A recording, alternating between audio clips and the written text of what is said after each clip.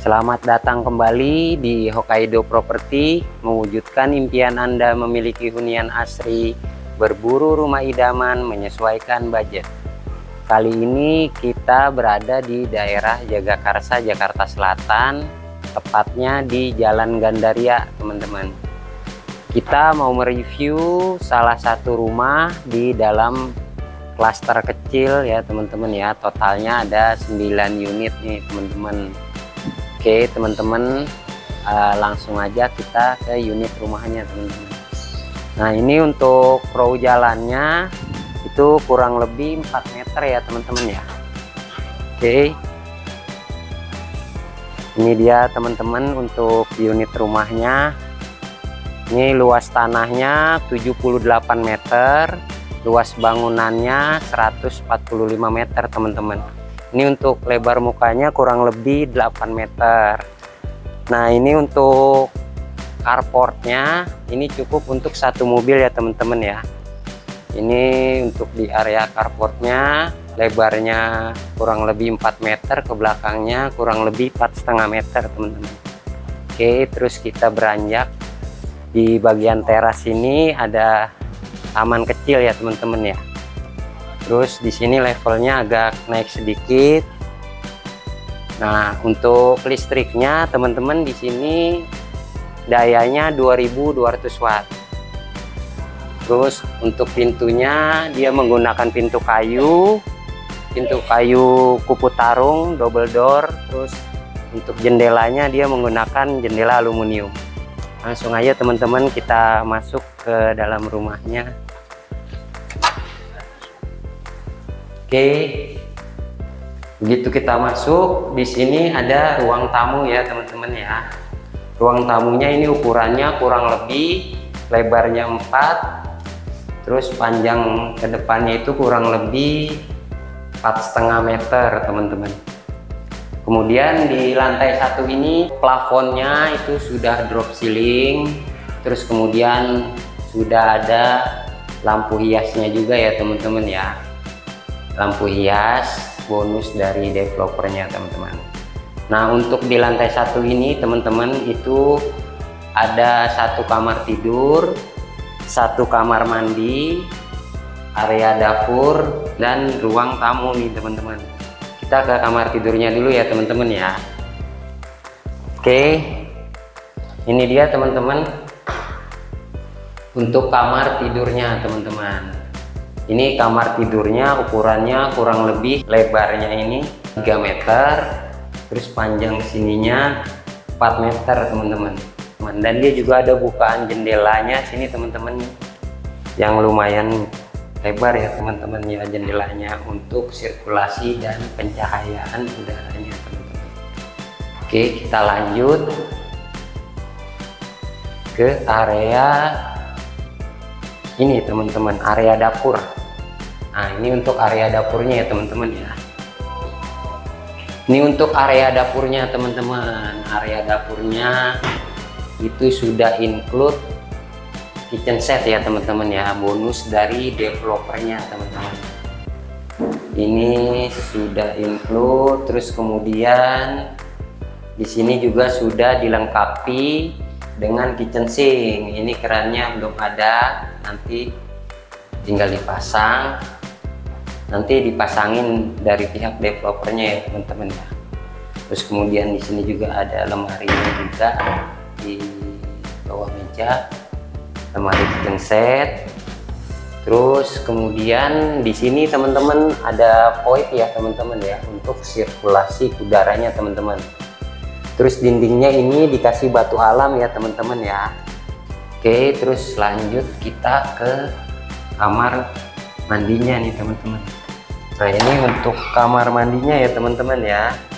Kamar mandinya lumayan luas. Ini untuk kamar mandi tamu.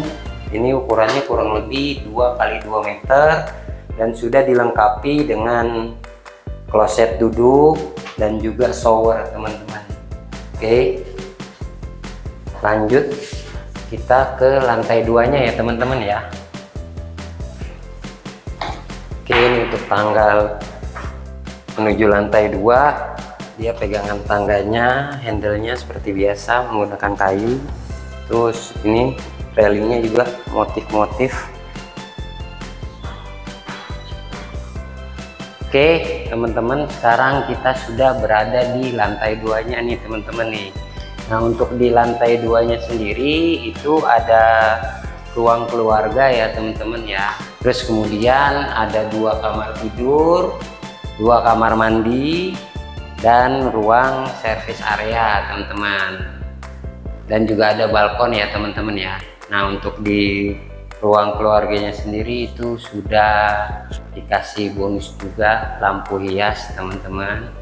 Dan eh, plafonnya juga sudah drop ceiling teman-teman.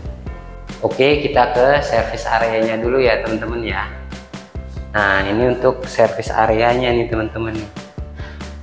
Ini untuk service area itu ukurannya kurang lebih dua setengah dikali 2 meter. Terus di sini yang tadi di lantai satu ya teman-teman ya ada void. Dari lantai satu ke lantai dua untuk sirkulasi udaranya teman-teman. Nah di area servis ini sudah disediakan keran ini untuk uh, mencuci dan juga sudah ada steker untuk colokan mesin cucinya teman-teman. Dan di sini juga sudah ada akses tangga menuju ke toren teman-teman. Oke. Kemudian kita lanjut ke kamar mandinya teman-teman. Nah ini untuk kamar mandinya ya teman-teman ya. Kamar mandinya ini kurang lebih ukurannya satu setengah dikali 2 meter teman-teman. Kemudian kamar mandi ini juga sudah dilengkapi dengan shower dan juga kloset duduk teman-teman. Oke kita lanjut ke kamar tidur anak ya teman-teman. Ini untuk kamar tidur anaknya teman-teman. Kamar tidur anaknya ini itu plafonnya juga sudah drop ceiling. Terus kemudian untuk ukurannya ini kurang lebih uh, lebarnya 4 panjangnya 3 teman-teman 4 kali 3 meter.